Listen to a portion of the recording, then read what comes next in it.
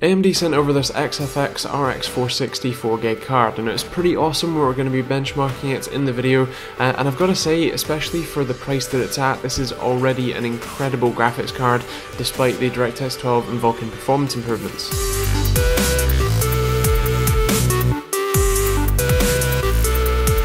As usual, the back of the box has all the new features, including the 90mm silent but deadly fans, which obviously come in a pack of two here as it's a double uh, fan design. But uh, yeah, either way, the actual card itself is a little bit longer than the reference, the reference is basically the same length as the PCIe slots, and as you can see, the fans have a cool party trick where you can pull them out of their slots to uh, basically clean the uh, heatsink underneath. Also, as I said, this card is a little bit longer, you have a, a, plastic extension bracket to hold the card up, but the actual PCB is quite short, uh, and the actual heatsink itself you don't get too much in the way of sort of aluminium there, but that doesn't matter too much as the card is actually really quite cool. You also get an extra 6-pin PCIe power connector. The rear I.O. is a DVI-D port, HDMI 2.0 port, and DisplayPort 1.4 port, and while it's not the most stylish uh, graphics card I've ever put in a system, it still doesn't look too bad and does a really good job of cooling.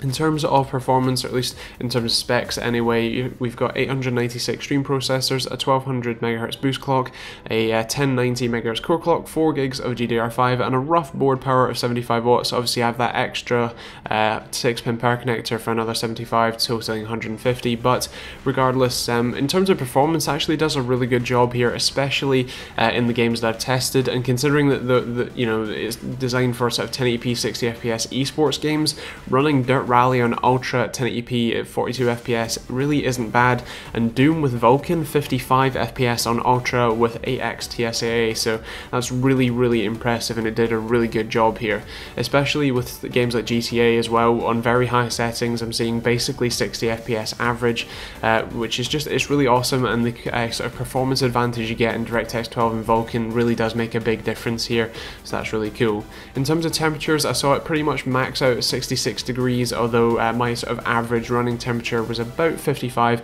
so that's pretty awesome.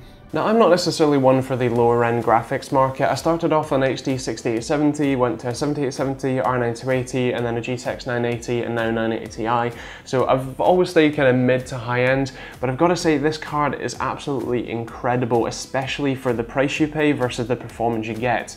Now the titles that I benchmarked weren't necessarily the ones AMD are expecting you to play it's very much an esports kind of 1080p FPS, uh, 1080p 60 FPS type card, but um, this is just like the, the incredible thing for me is that for games like Doom on ultra settings with uh, 8x TSAA, um, I was seeing 55 FPS using the Vulkan API, which is just incredible uh, performance. Obviously, I was seeing about 60 FPS average on very high settings in uh, GTA 5. Uh, obviously, Dirt Rally was like 40 to 45 FPS on ultra settings.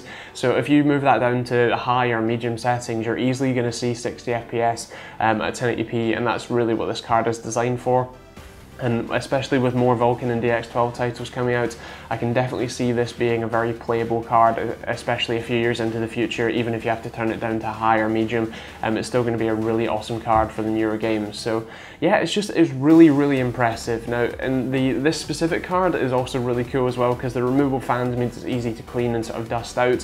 Um, the actual fans themselves sort of, sort of start, stop, so that uh, it's very quiet or obviously silent when you're doing web browsing type stuff, and then when you're gaming on it, it's actually still pretty quiet too. And temperatures, I was seeing sort of average temperature of about 55 Celsius with a maximum of 66, which is still really good, especially in terms of the, uh, you know, like reference cards that normally hit like 70, 80 uh, Celsius.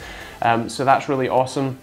And obviously uh, with the kind of general RX 460 you can get them without power connectors as well which means that uh, if you have a low power system or you have pretty much any system with a PCIe X16 lane you can just throw it in uh, and it should work just fine so that's really really awesome. Um, otherwise, it's uh, just a really impressive card. The uh, price, I mean, in terms of performance, it's about half of that, uh, half of an RX 480, but at the same time, it's about half the price, so you've got to give them to that there. And uh, yeah, if you have uh, very little money and you want to get a better graphics card, this is definitely the one I recommend because it's absolutely fantastic. In terms of scoring, I'm going to go for a 5 for 5 money, 5 for performance, um, I think I'm going to have to go for 5 functionality, but I, I think 4.5 for styling. It's not the prettiest card and there's a kind of plastic extender on the back, but it, regardless, it still does look pretty good. Uh, and it's going to have to be a 5 protection BB score. It's also going to get the uh, best, uh, the top tier award because it really is a fantastic graphics card. And if you have very little money, I honestly recommend that this is, this is the card you go for because it's fantastic and really, really cheap in terms of graphics cards and especially in terms of performance. So I think that's kind of it. I hope you enjoyed the video and found it useful. If you like the graphics card or enjoyed the video, feel free to hit the like button and subscribe if you did find the video useful and uh, you know want to see more GPU reviews. I've actually got an aftermarket RX 480 that's sitting right next to the camera that I'll be doing a review on fairly shortly, so do stick around for that. If you didn't, li uh, didn't like the video, feel free to dislike it, but let me know why in the comments down below so I can improve for next time. Um, and if you're interested in benchmarking DX12 or Vulkan games, check out my video on the uh, application that myself and my friend Jim from AdoredTV wrote that actually lets you benchmark, or at least uh, aids you in benchmarking DirectX 12 and Vulkan games.